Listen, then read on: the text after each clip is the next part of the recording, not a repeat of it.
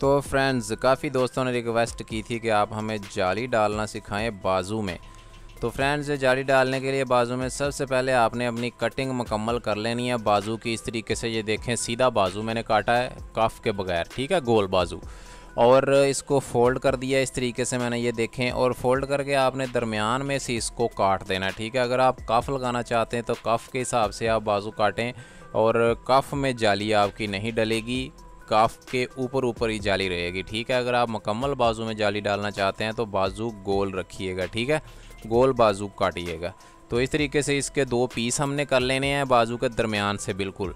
तो फ्रेंड्स, आगे बढ़ने से पहले मैं आपसे एक बात शेयर करना चाहता हूँ कि मैंने एक न्यू चैनल बनाया है, जिसका नाम है शहजाद अशरफ प्रो।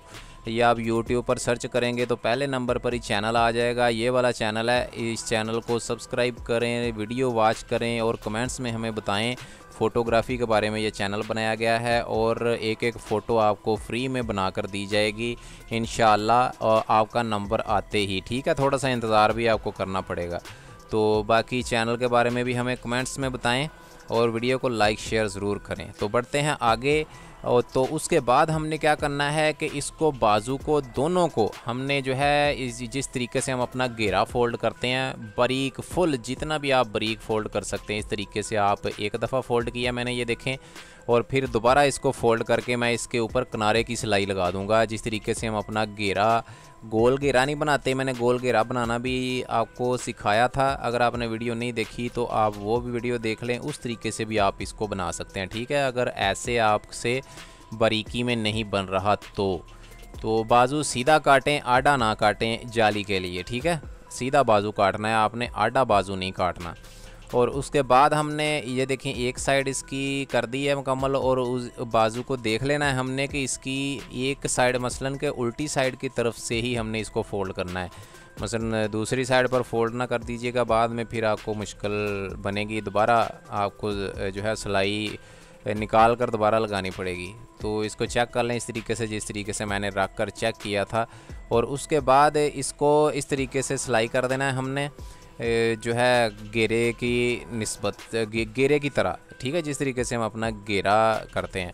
और उसके बाद हमने क्या करना है कि ऊपर से, ये देखें, यहाँ से हमने तकरीबन दो सूतर का फासला छोड़कर हमने एक पीस लेना है, कपड़े का छोटा सा, ये देखें, डबल करके मैंने पीस को, कपड़े को, ये देखें, डबल करके इसके नीचे रखा है, ऊपर वाली साइड से, जहाँ से हमारा बाजू स्टार्ट होता है, ये देखें, डबल पीस है। और इसको फोल्ड किया है मैंने नॉर्मल, और अंदाजे से छोटा सा पीस लिया है। और इसको जोड़ देना है हमने। मसलन के इसके नीचे ये कपड़ा रख कर तकरीबन कोई सूतर की सिलाई लगानी है हमने, हल्की सी बस, छोटा सा इस पर ठोका लगाना है कि ये बाजू आपस में जुड़ जाएँ।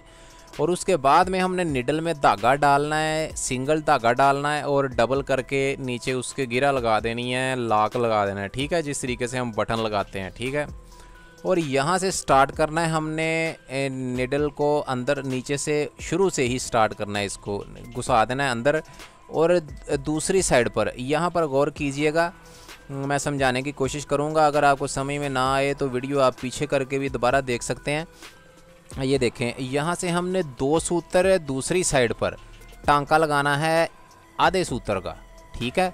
आधे सूत्र का टांका, ये देखें, दो सूत्र नीचे। मैंने टांका लगाया दूसरी साइड से और इस साइड से भी मैं दो सूत्र नीचे टांका लगाऊँगा। ये देखें, आधे सूत्र का टांका आपने लगाना है और नीचे से ऊपर की तरफ़ को सारे टांके लगाने हैं हमने, राइट भी और लेफ़्ट भी। ये देखें, ये मैंने नीचे से सुई अंदर घुसाई और ऊपर से बाहर, ये देखें, लेफ़्ट साइड से। और अब मैं राइट साइड पर दो सूत्र, उससे भी नीचे आऊँगा। और नीचे से सुई घुसाई ऊपर से बाहर, ये देखें, ठीक है? और ये आपने जो कपड़ा फोल्ड किया है ना, जो सिलाई हमने की है, ये उस ऊपर मसलन सिलाई जो हमने कपड़ा किया है, जो घेरे नुमा हमने इसको फोल्ड किया है वो घेरे के अंदर सिलाई लगनी चाहिए, निडल नीचे नहीं जानी चाहिए, चली भी जाए एक दो दफ़ा तो कोई बात नहीं है। वैसे कोशिश कीजिएगा क्योंकि जो ऊपर वाला ही कपड़ा है ना, जिस तरीके से तरपाई की जाती है, उस अंदाज में ये आप जाली बनाएँ, ठीक है? ये देखें, हल्का सा ऊपर वाला कपड़ा ही लेना है आपने, और आधे सूत्र का टांका लेना है आपने, ठीक है? और ये टांका नज़र आना चाहिए कि आपने टांका लिया है, बिल्कुल एक तंद का टांका नहीं लेना। ठीक है, तंद होता है ना जो एक कपड़े का, उसका टांका नहीं लेना, जिस तरीके से तरपाई में हम लेते हैं। हमने तकरीबन आधे सूत्र का टांका लेना है, हमें क्लियर नज़र आना चाहिए और जाली में ये लुक बननी चाहिए। ये देखें अभी मैं नज़दीक करके आपको भी दिखाऊँगा, आपको नज़र भी आ रहा होगा कि जिस तरीके से जाली बन रही है। और ये धागा आप कोई भी इसमें यूज़ कर सकते हैं ब्लैक मोटा धागा भी यूज़ कर सकते हैं, बड़ी निडल की मदद से, और रेशमी धागा भी आप यूज़ कर सकते हैं। नॉर्मल धागा नलकी वाला भी यूज़ कर सकते हैं। और भी अगर कोई पक्का धागा आप किसी भी धागे की मदद से जाली ये बनाना चाहें तो आप ये जाली बना सकते हैं, ठीक है? और निडल का हिसाब होगा, निडल बड़ी छोटी आपको लेनी पड़ेगी, बाकी जाली आप किसी भी कलर की, किसी भी धागे की डाल सकते हैं, डल जाएगी, ठीक है? बन जाएगी जाली। और इस तरीके से आपने जो है वो जाली, ये देखें, जिस तरीके से मैंने बनाई है टांका आधे सूत्र का लगाना है और दो सूत्र नीचे लगाना है। ये देखें, इस तरीके से नीचे ये आपको नज़र आ रहा होगा, ये देखें, नीचे से और टांका नज़र आना, इसी तरीके से सारे पर मुकम्मल आपने कर लेना है। ठीक है, ये मैंने मुकम्मल कर दिया, अब नीचे मैं ब्लैक कपड़ा रख कर आपको दिखाता हूँ कि अच्छे तरीके से नज़र आ जाए आपको। ये नीचे लगाऊँगा नहीं कपड़ा वैसे आपको रख कर ब्लैक कपड़ा दिखा रहा हूँ कि जाली मैंने मुकम्मल बना दी है उसी तरीके से। तो ये कैसे बनेगी और कैसी नज़र आएगी? ये देखें, ये जाली हमने मुकम्मल बना दी है इसकी। ये देखें, ऐसी ये जाली नज़र आएगी आपको और बहुत प्यारी लगती है ये जाली। मैं काफ़ी दफ़ा बना चुका हूँ ये और इसके बाद हम बाजू को करेंगे बंद, ठीक है? बाजू गोल को इस तरीके से अब हमने प्रेस लगाकर अच्छे तरीके से कपड़े को बिठा देना है और आखिर पर जो है बुकरम का एक पीस जो है पौनी इंच का, आधे इंच का जितना भी आप लगाना चाहें लगा कर ये एक्स्ट्रा मैंने काट दिया है और इसको जो है अब हम सिलाई करेंगे और ये इस वाले हिस्से को भी जो है हमने काट देना ये जो एक्स्ट्रा पीस है ना ये वाला, यहाँ से सीधा कर देना ये देखें हल्का सा इतना हमारा सिलाई के अंदर आ जाएगा मोडे के अंदर, ठीक है? ऊपर शोल्डर के साथ जो अटैच हो जाएगा, जब बाजू, ये देखें जाली हमारी जो है वो तैयार हो चुकी है मुकम्मल और इसके नीचे अगर आप कपड़ा लगाना चाहें तो वो भी लगा सकते हैं। और आगे जो है इसके बाजू पूरा पूरा था हमारा बना। इसके इसलिए मैं इसके नीचे एक्स्ट्रा कपड़ा लगा रहा हूँ, लेकिन आप इसके नीचे एक्स्ट्रा कपड़ा ही लगाइएगा। इसी तरीके से, जिस तरीके से मैं लगा रहा हूँ, ठीक है? क्योंकि नीचे से फिर वो फोल्ड हो जाएगा, नहीं तो जाली आपकी जो है वो अच्छे तरीके से फोल्ड नहीं होगी। जिस तरीके से मैंने ये एक्स्ट्रा कपड़ा लगाया है, इसको बंद करने के लिए, इसी ही तरीके से आपने अपने बाजू के नीचे कपड़ा लगाना है, ठीक है? क्योंकि अगर आपने जाली को फोल्ड किया, जाली वाला कपड़ा फोल्ड किया तो वो अच्छे तरीके से फोल्ड नहीं होगा। उम्मीद है कि समझ आ चुकी होगी आपकी जो मैं आपको समझाने की कोशिश की है मैंने। ठीक है? और दूसरे नंबर पर एक दफ़ा मैं फिर बता दूँ आपको, ये मैं अभी आपको ये बाजू तैयार करके बताता हूँ, इसकी दो तीन जो है जेन में आपने रखने हैं। ये देखें, ये मैंने पहन कर भी आपको दिखा दिया है, बाजू के ये किस तरीके से ये नज़र आएगा और कैसा लगेगा, ठीक है? ये देखें, ये जाली कैसी लग रही है और कैसी नज़र आएगी, ये देखें।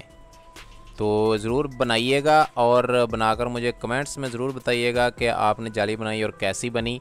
तो बाकी कमेंट्स में ज़रूर बताइएगा। इस वीडियो के बारे में अपनी कीमती राय ज़रूर दीजिएगा और वीडियो को लाइक ज़रूर कीजिएगा और शेयर भी दोस्तों के साथ कीजिएगा ताकि जिन भाइयों तक ये पहुंचनी होगी, पहुँच जाएगी वीडियो ठीक है? और अगर आप नए हैं तो चैनल को भी सब्सक्राइब करें और दूसरे नंबर पर मैं दो तीन बातें आपको बताना चाहता हूँ इस बाजू के बारे में। सबसे पहले तो आपने बाजू, कई दोस्त ऐसे हैं कि वो बाजू काटते हैं आडा। मसलन के सीधा हिस्सा जो होता है बाजू का, वो सीधा रखते हैं, लेकिन जो बैक साइड होती है, उसको आडा कर देते हैं, ठीक है? तिरछा बाजू काटते हैं, कई भाई ऐसे हैं, तिरछा बाजू काटते हैं, लेकिन हर बाजू तिरछा नहीं काटना चाहिए, और कोई बाजू ऐसे होते हैं साइज़ के हिसाब से कि जिनको तिरछा काटना पड़ता है, ठीक है? वो तिरछे के बगैर जो है वो अच्छे नहीं लगते, जिसम पर फिट भी नहीं बैठते। वो भी इंशाल्लाह मैं आपको बताऊँगा नेक्स्ट वीडियो में जब कटिंग के बारे में मैं वीडियो अपलोड करना शुरू करूँगा तो उसमें आपको बताऊँगा कि आडा बाजू कब और कहाँ काटा जाता है, ठीक है? और ये बाजू आपने सीधा काटना है, बिल्कुल सीधे कपड़े का, ठीक है? और उसको दरमियान से काट लेना है आपने। और कफ अगर आप लगाना चाहें तो कफ के हिसाब से काटने हैं। कफ में आपकी जाली जो है वो बिल्कुल नहीं डलेगी, ठीक है? वो बाजू के ऊपर ऊपर ही जाली रहेगी। तो बाकी जो है इन नेक्स्ट टाइम मैं आपको एक और तरीका भी बताऊँगा बाजू में जाली डालने का और शोल्डर के ऊपर जाली डालने का तरीका भी इन मैं आपको बताऊँगा और बैक तीरे के ऊपर जाली डालने का तरीका वो भी मैं आपको बताऊँगा। फ्रंट में जाली डालने का तरीका। इन नेक्स्ट वीडियो में वो भी मैं आपको बताऊँगा और जो है इस वीडियो के बारे में कमेंट्स में हमें ज़रूर बताइएगा कि आपको वीडियो कैसी लगी और जो नेक्स्ट चैनल मैंने वीडियो के स्टार्ट में आपसे ज़िक्र किया था, उस चैनल को लाजमी सर्च करें। उसका लिंक भी आपको डिस्क्रिप्शन में मिल जाएगा, शहजाद अशरफ प्रो। आप यूट्यूब पर सर्च करेंगे, पहले नंबर पर ही चैनल आ जाएगा। चैनल को सब्सक्राइब करें, लाइक करें, शेयर करें। मेरा ख़ुद का चैनल है, वो सिर्फ़ आप भाइयों के लिए ही चैनल बनाया गया है। उसमें सिर्फ़ आप भाइयों की फ़ोटो एडिटिंग करके ही वीडियो अपलोड की जाएँगी, ठीक है? अभी मेरे पास वीडियो पड़ी हुई हैं, सिर्फ़ तकरीबन चार भाइयों की फ़ोटो मैंने अभी बनाई है, उनको सेंड कर दी है मैंने लेकिन मेरे पास अभी कोई दस वीडियो और पड़ी हैं, मेरी ख़ुद की बनी हुई इन वो वीडियो ख़त्म होती हैं जिस दिन तो उसके बाद सारी फ़ोटो जो आप भाई सेंड करते हैं मुझे, आप भाइयों की फ़ोटो की ही वीडियो बनाकर इन डेली आपको सेंड की जाएँगी। थोड़ा सा इंतज़ार करें, ठीक है? बाकी कमेंट्स में हमें ज़रूर बताइएगा कि वीडियो आपको कैसी लगी। लाइक शेयर ज़रूर कीजिएगा। और मिलते हैं नेक्स्ट वीडियो में। अल्लाह हाफिज़। Thank you